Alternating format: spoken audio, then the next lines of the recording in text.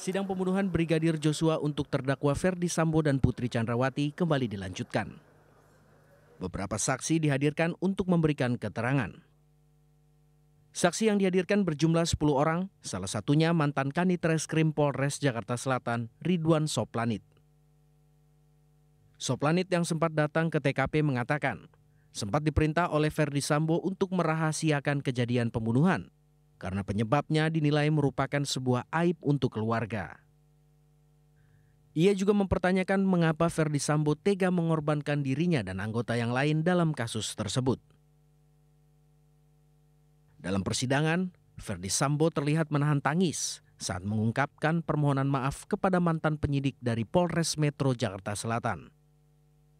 Sambo juga mengakui telah memberikan keterangan tidak benar di awal penyidikan hingga melakukan intervensi kepada para penyidik Polres Metro Jakarta Selatan.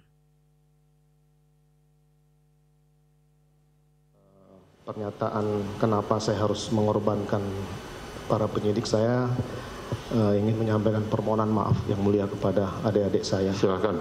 Karena uh,